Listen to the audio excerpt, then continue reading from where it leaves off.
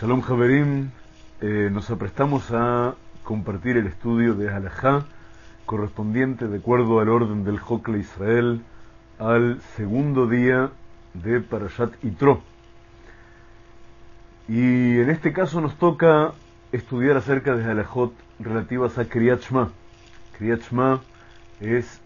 la parte fundamental, la columna vertebral de la tfilá del Yehudí, de la plegaria de un Yehudí, desde el momento en que implica las siguientes cosas. Vamos a hacer una brevísima introducción. Eh, se trata de un ordenamiento de tres parashiot, eh, que son Shema Israel, Hashem Elokeinu, Hashem Echad, y luego la parashá que empieza con Be'ahavta, Be'ahavta de Hashem Elokeja, y amarás a Hashem tu Elokim, luego la parashá Be'hayim Shamoa, que establece la lógica y la mecánica del cumplimiento de mitzvot y de qué va a suceder eh, a partir de las opciones vitales que tomemos con conocimiento de causa y con conocimiento de consecuencia, eh, de qué modo vamos a atraer sobre nosotros bendición y de qué modo todo lo contrario. Y por fin, para Shat Tzitzit, Bayomer Hashem el Moshe, Daber el Bnei Israel, Beazulahem Tzitzit al Kanfei Bigdehem, etc. Vaidaber Hashem el Moshe Lemor, en realidad, la parashá donde se nos indica que debemos cumplir con la mitzvah de tener una prenda con tzitzit. Eh, caramba, estamos con un problema técnico aquí. Ahora está bien. Eh, en esa parashá nos vamos a, a encontrar con la mitzvah fundamental de usar los tzitzit, los flecos anudados de modo muy específico eh, en las puntas de una prenda de cuatro extremos. Y vamos a aprender que la esencia de Parashat Tzitzit es primero que nada recordar Yetziat Mitzrayim, recordar la Geulah, y en segunda instancia recordar todas las mitzvot, tenerlas presentes todo el tiempo, y prevenirnos de lo que pueda eh, atacar nuestra voluntad, de modo que eh, sabotee nuestro cumplimiento de mitzvot. De tal modo, nos encontramos que Kriyat eh, funciona en el ordenamiento siguiente. Empieza por la asunción de Ol Malchut empieza por la asunción de que Hashem, el creador y amo de la creación, es uno solo, continúa por la asunción de Ol Mitzvot, del yugo de las mitzvot, o sea, la aceptación de un código de leyes, de un código de conexiones y desconexiones de energía, a cuyo otra vez nos vamos a ocupar de la enmienda de nuestra alma en esta vida y por las cuales nos vamos a regir en todos nuestros actos, nuestros pensamientos, nuestra voluntad y nuestra habla. Del mismo modo, para quien se asombre de algo así, del mismo modo en que en realidad nos vemos obligados eh, por el contexto social a aceptar sobre nosotros, por ejemplo en cualquier país del mundo, a jurar fidelidad a una constitución que se compone de leyes azarosas hechas por hombres de acuerdo a conveniencias ignotas, modificadas al antojo de otros hombres, y nosotros nos comprometemos con fuerza de juramento a, respetar dichas leyes, del mismo modo, vaya si no merece que nos comprometamos con fuerza de juramento, de testimonio primero y de aceptación con fuerza de juramento, las leyes del creador del mundo, las leyes del amo de todo lo que hay, las leyes del único verdadero poder trascendental que hay sobre toda la creación. Y en tercer término, nos aseguramos en la tercera allá de Kriyat en la última parte, nos aseguramos de recordar siempre Yetziat Mitzrayim, de evocar, como decíamos, siempre Yetziat Mitzrayim, lo cual implica tener presentes primero los milagros que hace Kadosh Baruj cuando nos disponemos al camino de la redención,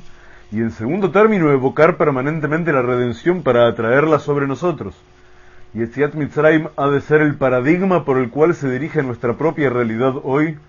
cuando aspiramos y suplicamos una verdadera y completa redención. Entonces nos encontramos estudiando las alajot relativas a Kriyat Shema, y así nos dice hoy el Hokle Israel. Pa'amaim bechol yom kor'in Kriyat Shema. Dos veces por día hay que leer Kriyat Shema. Boker, Baerev, Uba Boker. En la noche y en la mañana. Shenemar, porque está escrito en Sefer Barim, en el libro de Deuteronomio, capítulo 6, Ube Beja, Ube Kumeja, que lo leerás y cuando te acuestas, cuando estás acostado, y cuando te levantas, cuando estás levantado. O sea, primero que nada en el horario en que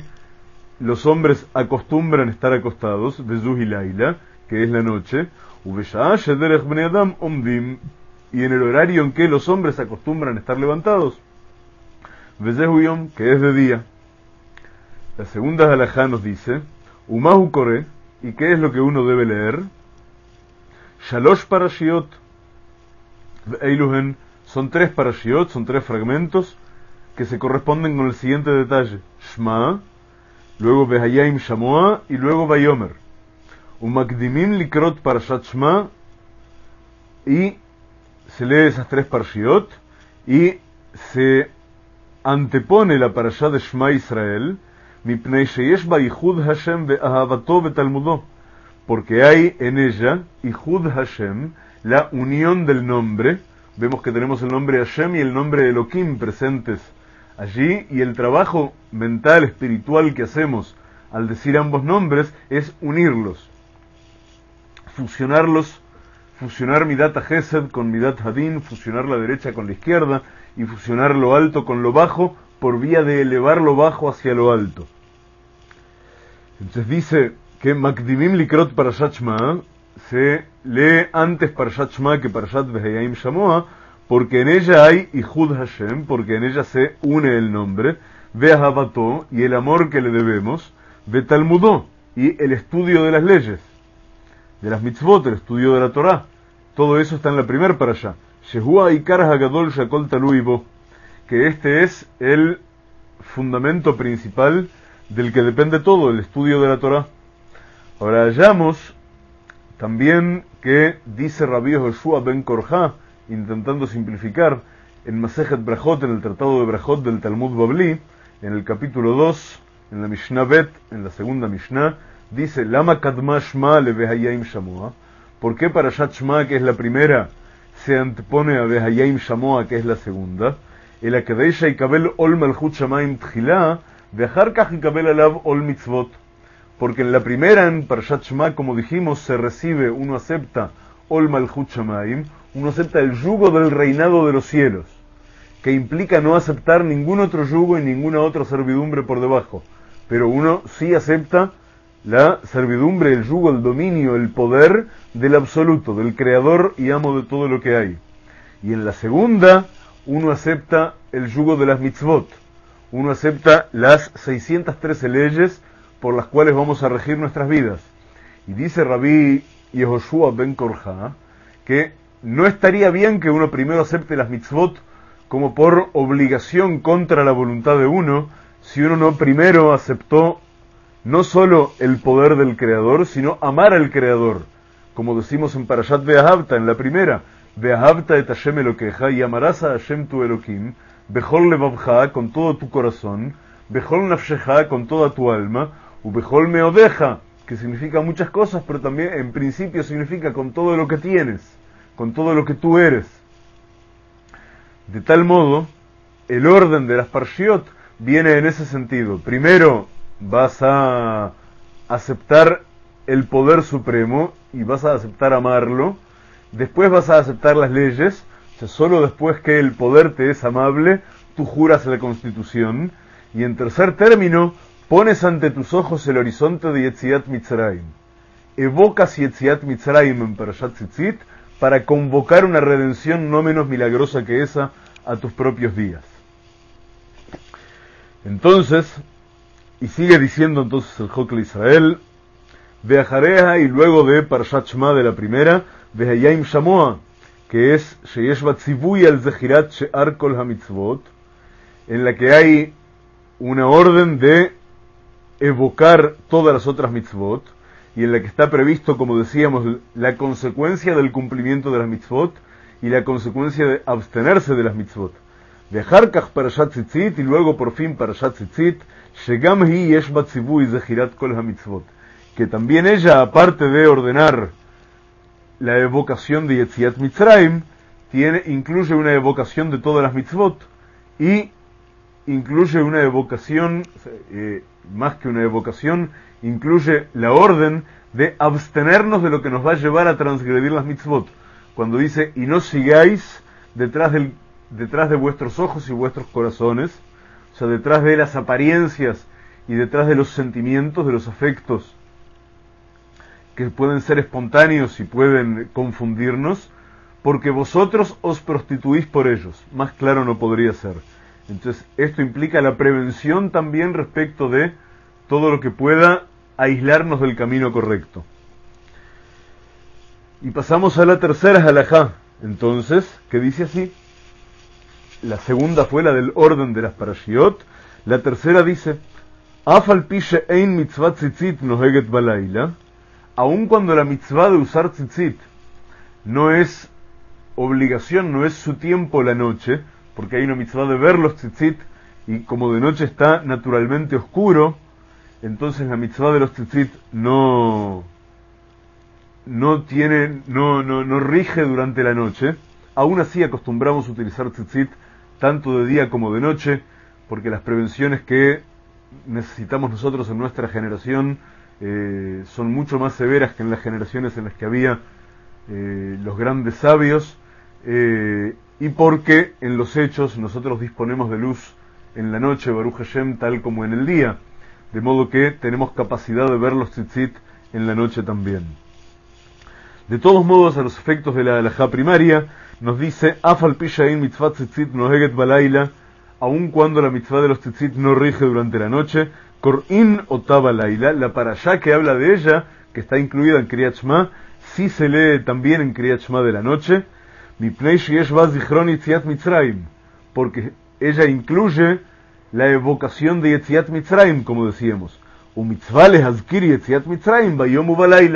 Y la mitzvah de evocar Yetziat Mitzrayim es tanto de día como de noche. O sea, hay una mitzvah de recordar Yetziat Mitzrayim de día, y hay una mitzvah de recordar Yetziat Mitzrayim por la noche, tal como está escrito en la Torah, que dice Leman Tizkor Yom Eretz Mitzrayim Kol Es para que para que recuerdes, para que evoques el día de la salida de Mitzrayim, el día de tu salida de Mitzrayim, todos los días de tu vida. Y ahí estudian nuestro Jajamim, y eso lo leemos siempre en la en la de Pesach que los días de tu vida se refiere a los días, y cuando acentúa y dice todos los días de tu vida, todos hace referencia a las noches también. De modo que la mitzvah de evocar Itziat Mitzrayim es tanto de día como de noche. elu al seder Y la lectura de estas tres parshiot de corrido y en este orden es lo que llamamos Kriyat o la lectura del Shema. Ahora, en la lectura del Shema hay incluidos muchísimos secretos. Eh, podríamos eh, hablar eh, probablemente días de corrido acerca de Kriyat Shema, recurriendo a todas las fuentes del Talmud y del Midrash y de la Kabbalah, y no agotaríamos su sentido. De todos modos, para hacer un resumen muy muy básico, vamos a decir algunos pequeñísimos datos eh, acerca de el trabajo de Kriyat Para empezar, como ya aclaramos, Kriyat incluye las tres etapas básicas fundacionales de nuestro camino como Yehudim, de nuestro tikkun, de la enmienda que debemos hacer sobre nosotros mismos para incidir con ella sobre la enmienda del mundo. En primer término, incluye la asunción de que el Creador es uno y único, e incluye la relación de amor, la relación fundacional de amor entre nosotros, sus criaturas, y Él, nuestro Creador. Incluye ese intercambio íntimo que hace que nos relacionemos con Él y podamos situarnos por encima de lo que se llaman leyes de la naturaleza. Porque cuando pendemos directamente del Gesed del Creador, cuando estamos unidos a la fuente de todo bien, las leyes de la naturaleza no rigen para nosotros de modo absoluto, no son inquebrantables para nosotros. Y lo que es un milagro inverosímil para quien vive sujeto a las leyes de la naturaleza, se convierte para nosotros en algo que es el camino, es el modo en que, en que realmente ocurren las cosas. Estuvimos hablando largamente de eso en nuestra clase pasada de Zohar y en la anterior. Y dice el Midrash Tanjuma en Pershat Kedoshim, Lotehe Kriyat Aineja, no sea, no tomes con liviandad el tema de Kriyat Ibot, porque hay en Kriyat Shma 248 palabras, que Minyan Eivarim Adam, que es el número de el número de órganos que hay en el cuerpo humano. Eh, es interesante señalar, eh, hay una discusión en la Gemara sobre esto, acerca de que en realidad no hay 248 palabras en Kriyat hay 245. Ahora, ¿qué es lo que sucede? El modo en que está armada Kriyat para su lectura, para nuestro trabajo con ella, incluye que cuando hacemos tefilá, cuando elevamos nuestra plegaria en un minyan, que es el modo, el modo mejor de hacerlo, el modo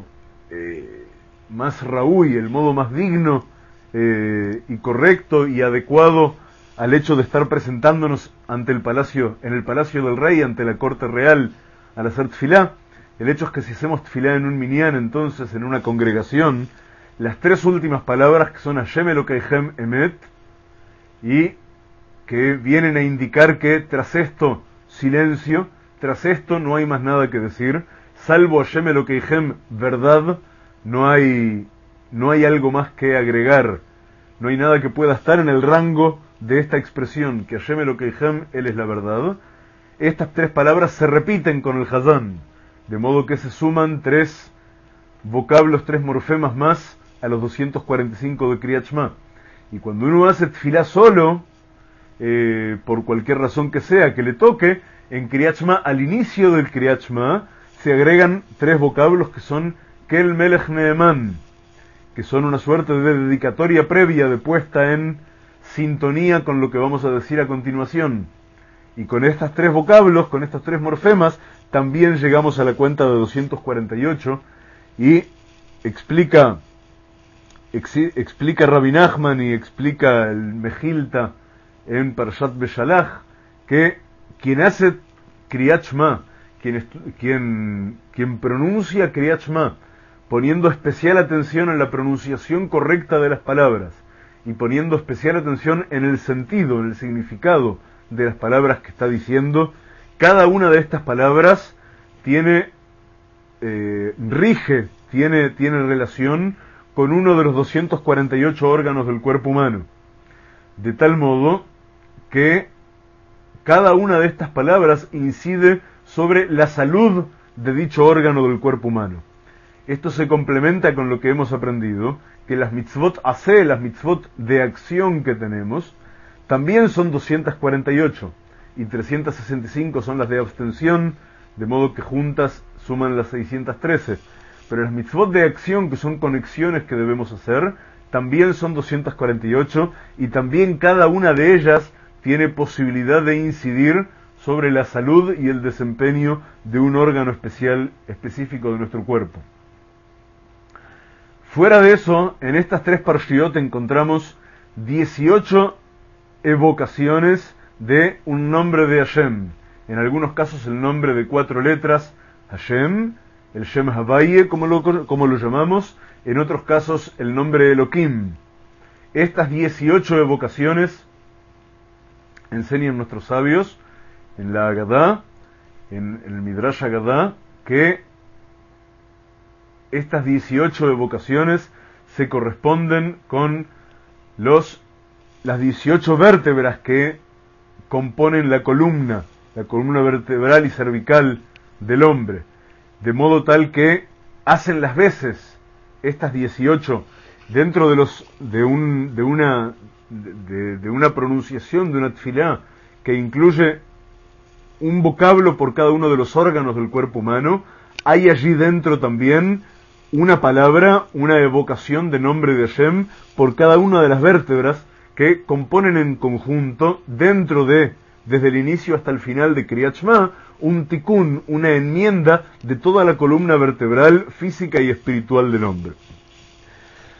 Vamos a agregar también que es especialmente importante, no, antes de eso vamos a agregar el último plano de secretos que vamos a decir al respecto en este instante,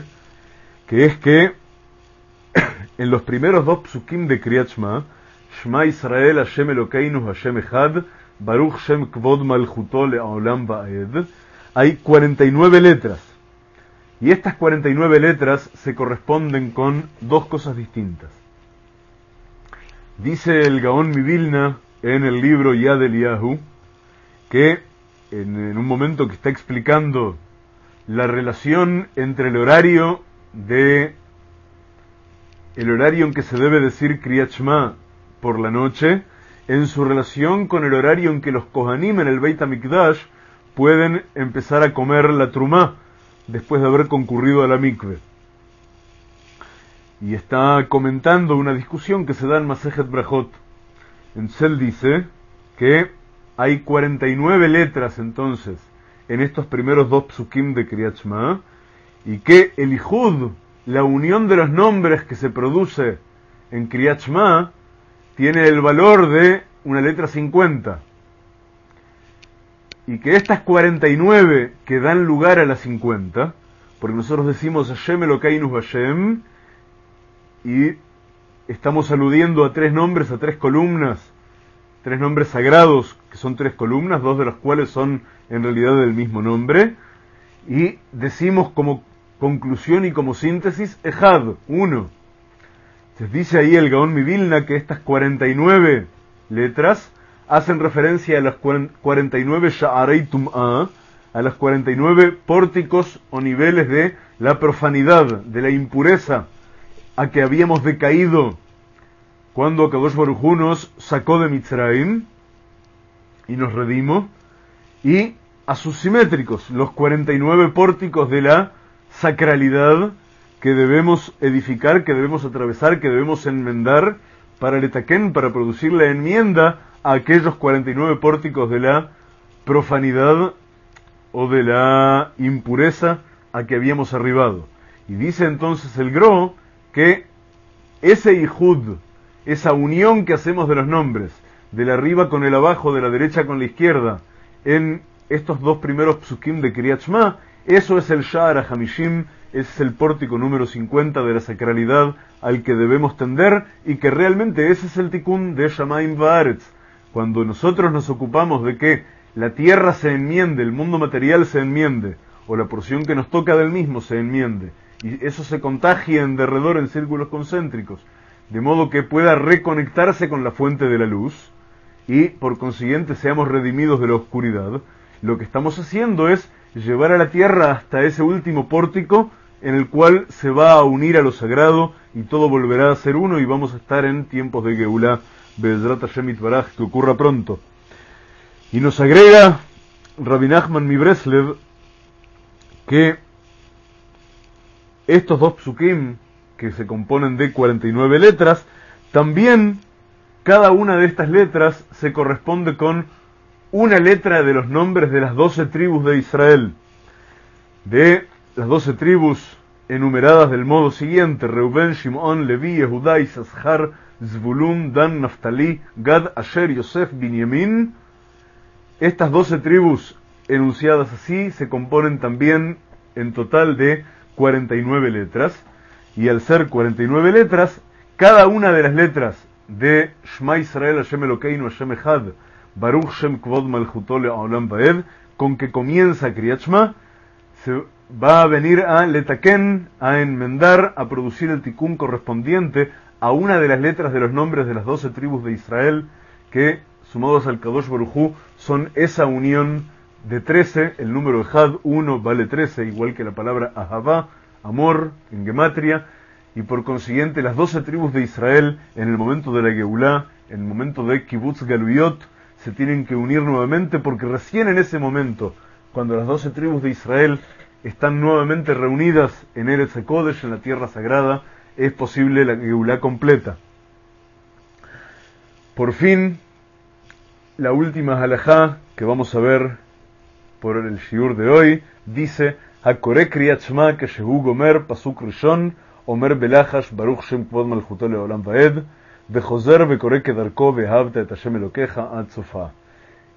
se dispone a leer kriyat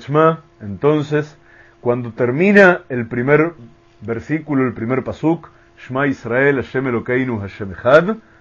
dice en un susurro en voz muy baja, Baruch Shem Kevod Malchuto Vaed, bendito el nombre de la gloria de su reinado por todo el tiempo del mundo y todo el tiempo en que haya testigo, en que haya testimonio. Y en, en, una segunda lectura, por todo el tiempo de este mundo y hasta el mundo por venir. De Joser, entonces vuelve a alzar la voz y lee Behavta de Tashem queja y toda la primer para allá, la segunda y la tercera, hasta que completa Kriyat Shema. Javerim, sea voluntad de Hashem que, aunque sea con esta mínima introducción a la importancia y la salahot de Kriyat Shema, baste para llamarnos a todos hacia un cumplimiento mucho más esmerado de esta mitzvah cada mañana y cada atardecer, cada noche, y que a través de ello consigamos nueva fuerza y nueva brajá, cada uno en su vida para todos sus mejores propósitos sagrados y todos juntos para el clan Israel y para el mundo entero. Kenny Razón. Amén, Kenny Razón.